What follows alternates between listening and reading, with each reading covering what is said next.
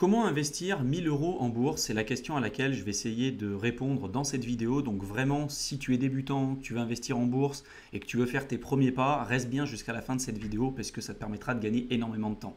Ce qu'il faut savoir déjà avant d'investir tes premiers euros en bourse, c'est qu'il y a déjà plusieurs questions à te poser. Première chose, quels sont tes objectifs? Quels sont tes objectifs personnels? Est-ce que ton objectif c'est d'acheter par exemple ta résidence principale? Est-ce que ton objectif c'est de devenir indépendant ou libre financièrement?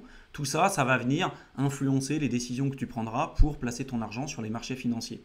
Ensuite, tu vas avoir ton horizon de temps pour savoir quand est-ce que tu aurais potentiellement besoin de cet argent. Si c'est pour avoir et créer un apport pour ta résidence principale et que tu souhaites l'acheter dans les 3 ou 4 ans, forcément l'approche d'investissement ne va pas être la même que quelqu'un qui veut mettre en place les intérêts composés et vraiment d'investir sur le long terme parce qu'il veut atteindre la liberté financière ou partir en retraite anticipée euh, plutôt que prévu.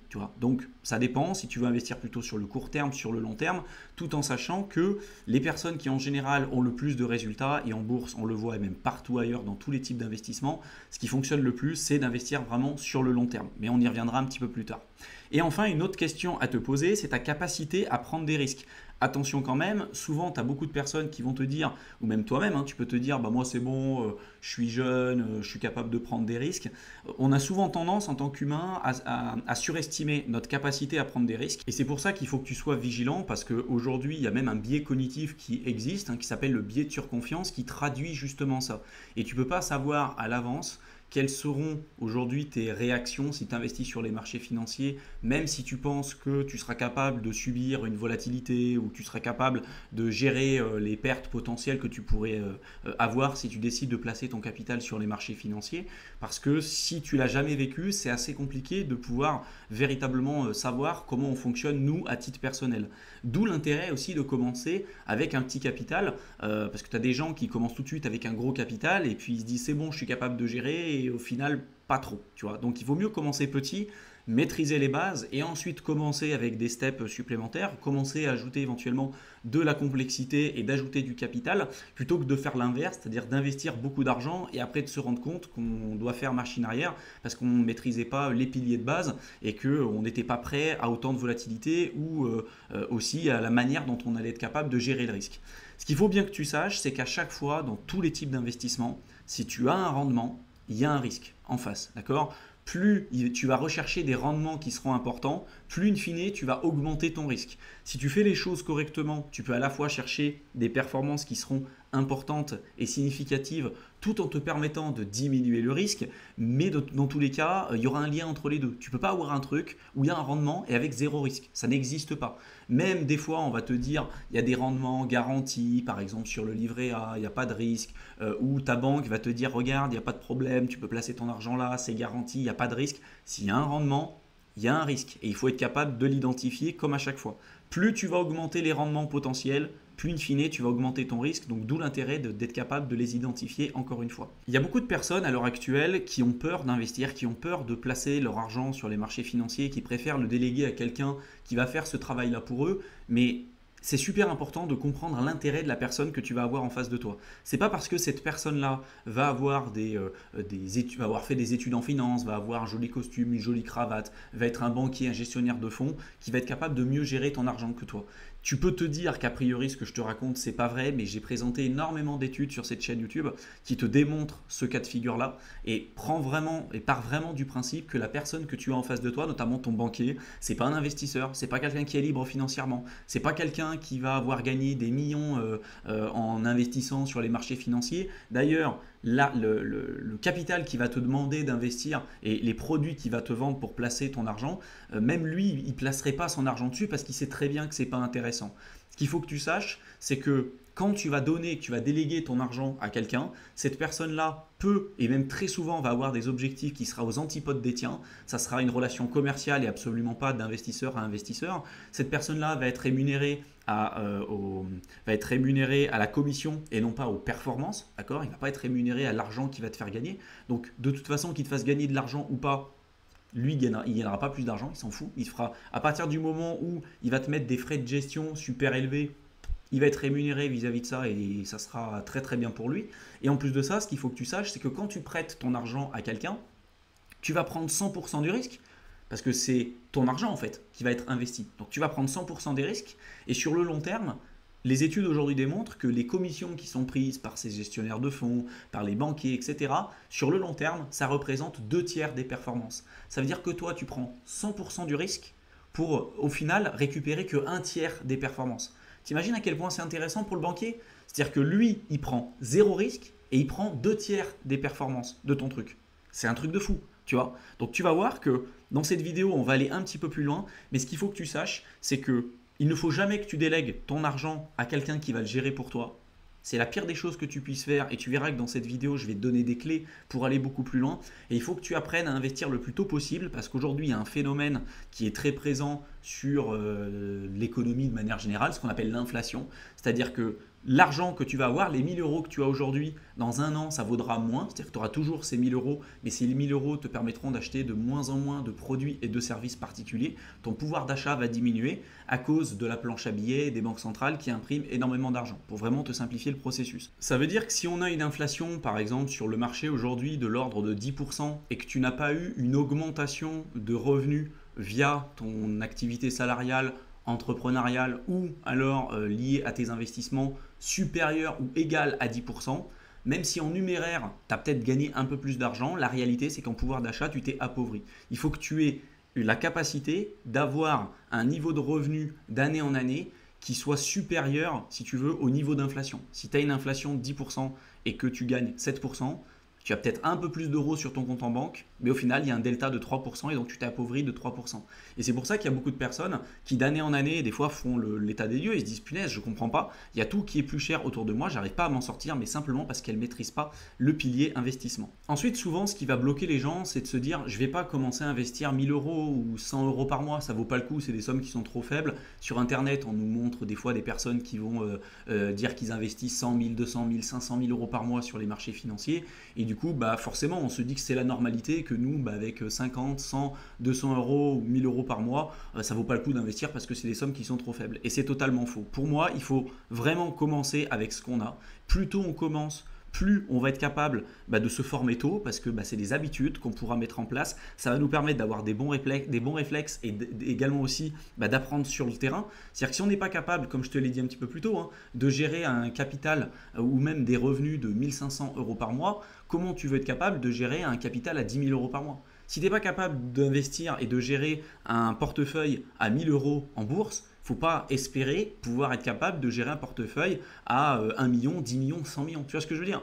Peut-être que ce n'est pas du tout tes objectifs, mais c'est super important de commencer. Et plus on commence tôt, plus on va faire des erreurs. Et il vaut mieux qu'on fasse des erreurs avec un capital qui soit plus faible et de pouvoir rattraper rapidement cette erreur plutôt que de commencer tout de suite avec un gros capital et ensuite de ça le regretter parce qu'on ne s'est pas suffisamment formé. Donc, première chose, pourquoi c'est intéressant et pourquoi investir 1000 euros? Parce que ça va te permettre de commencer à te former, ça va te permettre d'avoir les bons réflexes et d'apprendre sur le terrain, ça va te permettre de te poser les bonnes questions rapidement et d'avoir également aussi tes premières réussites. Et ça, ça va te donner envie d'apprendre parce que tu te diras, toute ma vie, j'ai cru que c'était compliqué, on m'a toujours dit que c'était difficile et tout. Et quand tu commenceras à obtenir tes premiers résultats, tu te diras Ah bah ouais, au final, c'était pas si compliqué que ça. Et ça va te donner envie d'apprendre, ça va te donner envie d'étudier, ça va te donner envie d'aller plus loin, de te dépasser et d'obtenir des résultats qui seront plus significatifs. Donc, si investir des petites sommes, ça vaut vraiment le coup, par contre, faire attention à avoir un gros point de vigilance et un gros voyant rouge sur les frais et attention à chaque fois qu'on va te proposer des grosses performances, parce que c'est souvent là où les débutants malheureusement tombent dans le panneau. Quand il y a des grosses performances, quand on te propose des gains qui sont super intéressants, en général, on va t'occulter les risques et c'est généralement là où tu vas euh, avoir des, grosses déconvenues et perdre par exemple l'intégralité de ton capital. Maintenant, avant d'investir, il y a quand même certaines règles qu'il va falloir que tu respectes parce que tu vas pas faire les choses n'importe comment. Première chose, comprendre ce que tu fais être capable d'identifier les risques, comprendre comment ça fonctionne, etc. Tu n'as pas besoin d'être un spécialiste de partout pour commencer à investir, tout comme tu n'as pas besoin d'être un garagiste ou de savoir parfaitement comment fonctionne ta voiture pour pouvoir l'utiliser. Par contre, il faut quand même que tu aies un certain nombre de bases et de connaissances de base pour pouvoir la conduire. Bah, c'est pareil pour l'investissement. Donc vraiment comprendre ce que tu, ce que tu fais. Tu peux également aussi, une autre règle de base à respecter, c'est ouvrir un compte titre ou un PEA sur des banques en ligne et pas en banque physique, parce qu'en général, les banques physiques vont te prendre des frais qui sont super importants, c'est pas intéressant en termes de performance, ça va t'éroder ton capital euh, sur le long terme, tu peux perdre des dizaines, voire des centaines de milliers d'euros vraiment sur le long terme, donc passe plutôt vers des banques en ligne. J'ai fait beaucoup de vidéos sur cette chaîne YouTube sur les banques en ligne pour te dire celles que j'utilisais, donc n'hésite pas à aller y jeter un coup d'œil, mais passe plutôt vers des banques en ligne plutôt que des banques physiques, euh, tu auras des performances et des frais notamment qui seront beaucoup plus faibles. Être capable de se créer un portefeuille long terme et ensuite d'aller sur des actifs entre guillemets plus risqués si on le souhaite. Le problème de beaucoup de gens, c'est qu'ils n'ont pas de base dans l'investissement et tout de suite ils vont vers des trucs hyper risqués alors qu'ils n'ont aucune base. Pour moi, il faut que tu arrives à créer en fait ta pyramide de l'investissement. J'ai fait beaucoup de vidéos sur cette chaîne pour parler de la pyramide de l'investissement. Tu commences par les bases. Déjà, tu commences à avoir un niveau de revenu, qui est supérieur à tes niveaux de dépenses. Donc, tu as un niveau de vie plus faible euh, que, euh, que tes niveaux de revenus. Donc, tu es capable d'épargner. Tu te crées ton épargne de sécurité. Et après, une fois que tu as ton épargne de sécurité, eh ben, tu peux passer sur euh, l'investissement. Et après l'investissement, tu peux par exemple investir en bourse, en immobilier, etc., etc. Ensuite, un autre point important, c'est être capable d'investir sur le long terme et ne pas essayer de timer le marché. Il y a beaucoup d'études que je t'ai présentées également aussi sur cette chaîne YouTube qui te montrent que là où tu auras les meilleurs résultats, c'est d'investir régulièrement tous les mois sur des bons véhicules d'investissement en bourse, et j'en parlerai un petit peu plus tard euh, dans cette vidéo, et de ne pas essayer de trouver les meilleurs moments pour pouvoir rentrer ou sortir du marché, ce qu'on appelle le timing de marché, ou également aussi ce qu'on appelle le stock picking, c'est-à-dire d'essayer de déterminer là où les meilleures actions qui vont surperformer. On verra que ça, c'est le meilleur cocktail pour euh, sous-performer finalement le marché et d'obtenir des résultats qui seront euh, en général pas intéressants pour les particuliers. une autre règle vraiment à respecter, c'est de comprendre le lien qui existe entre le revenu, qui est égal au capital multiplié par le rendement. Je te répète ça, le revenu est égal au capital multiplié par le rendement. Le capital, c'est le nerf de la guerre pour l'investisseur. Plus tu vas avoir un capital qui, est conséquent, plus tu pourras te permettre d'obtenir des rendements ou d'aller rechercher des rendements plus faibles, donc un risque qui va être plus faible, et tu pourras obtenir des revenus qui seront significatifs. C'est pas la même chose de gagner 100% sur 1000 euros. 100% sur 1000 euros, au final, tu, gagnes 1000 euros, donc tu vas doubler en fait ton, capital. Donc c'est pas ça qui va changer ta vie. Par contre, de faire 5% sur 5 millions, c'est pas la même somme. Tu vois, le cas de figure est pas pareil. C'est pour ça qu'en général, les débutants, ils comprennent pas. C'est-à-dire qu'ils se disent, j'ai un petit capital, donc je vais chercher un super gros rendement, donc je vais augmenter mon risque, et donc au final, ils se retrouvent à perdre leur capital. Et donc s'ils n'ont plus de capital, ils peuvent plus avoir de rendement, donc ils n'ont pas de revenus. Alors que si tu es capable de créer et de développer, de conserver ton capital avec le temps, tu peux le faire grossir et après être capable, un peu plus tard, bah, de, de chercher des rendements qui vont être certes euh, plus faible, mais du coup, tu auras des risques plus faibles. Et ça, en termes de numéraire, ça sera super intéressant pour toi parce que tes revenus seront liés directement à ton capital. Donc vraiment comprendre cette règle-là, c'est une règle d'or qui malheureusement fait défaut à énormément de débutants. Et enfin, la dernière chose qui revient en lien avec tout ce que je t'ai expliqué précédemment, c'est comprendre la gestion passive, la gestion indicielle. C'est-à-dire qu'au lieu d'investir dans une entreprise, de dire tiens, bah moi je vais investir uniquement dans Apple, je vais investir dans Amazon, je vais investir euh, dans la nouvelle entreprise qui sera le prochain Amazon ou, euh, ou euh, la prochaine entreprise en vogue, tu peux investir dans un panier d'actions, dans un panier d'entreprises. Et au final, tu vas être très diversifié. Et c'est ça aussi le nerf de la guerre, c'est d'être diversifié en termes de secteur géographique, en termes de, oui, de, de, secteur géographique, en termes de secteur d'activité, en termes d'entreprise, en termes de devises. Tu peux vraiment te diversifier sur plein de choses. Tu n'es pas obligé d'investir non plus que dans des actions. Tu peux investir dans des obligations qui sont en fait des créances ou de la dette. En fait, c'est le marché de la dette. Tu peux investir dans des métaux précieux, tu peux investir dans de l'immobilier, tu peux investir vraiment dans plein de classes d'actifs différents et ce de manière passive. Et aujourd'hui, les études démontrent, notamment l'étude Spiva, tu pourras y jeter un coup d'œil, que la gestion passive, la gestion indicielle en utilisant le vecteur des trackers ou des ETF, ça te permet d'obtenir des résultats bien plus importants et bien plus significatifs que 95% des professionnels de fonds qui, eux, ont fait des études quand même en finance, qui, eux, demandent des frais qui sont super élevés pour essayer de surperformer le marché. En l'occurrence, pour 95% d'entre eux, sur une période supérieure à 20 ans, ne sont pas capables de le faire. Et en plus de ça, ce qui est super important, c'est de te rendre compte que ces professionnels-là, ils ont tous les moyens possibles pour essayer de surperformer, pour essayer de faire mieux euh, euh, que la majorité des gens. Ils payent des centaines de millions, voire des milliards dans des modèles d'intelligence artificielle qui sont, plus qui sont les plus développés possibles. Euh, ils payent des analystes des, centaines de millions par année pour trouver les meilleurs modèles mathématiques, pour essayer de surperformer. Et même eux, sont pas capables de le faire. Donc je te laisse imaginer les particuliers.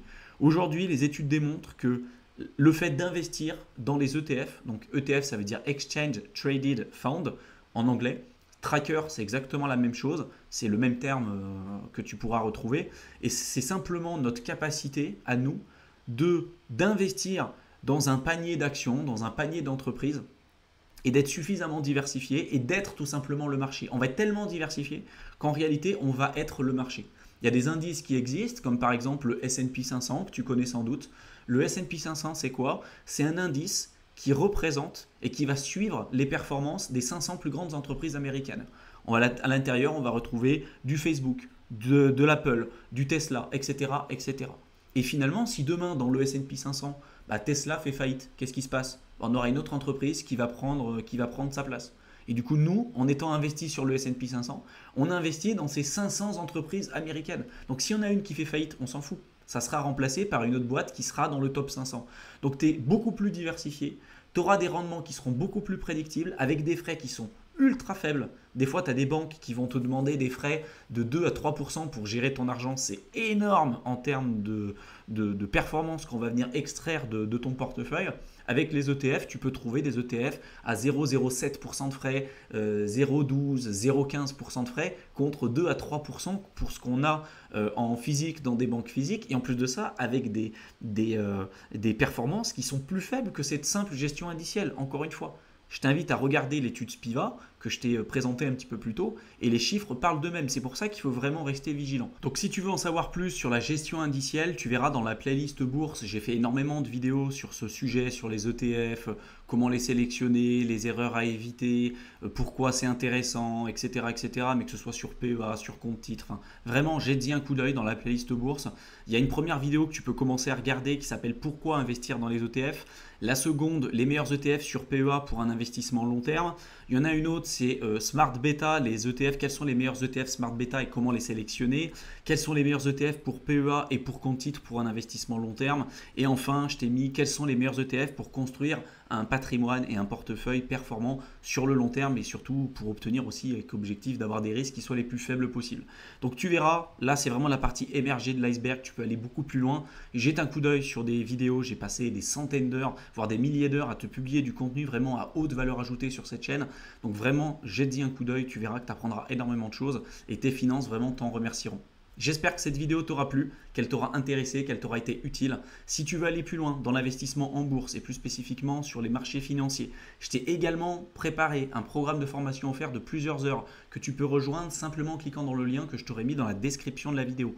Tu verras juste en dessous de la vidéo, tu as un lien, tu cliques dessus, tu vas être redirigé sur une page, tu auras simplement à rentrer ton adresse mail et je t'enverrai le contenu et la formation directement dans ta boîte de réception.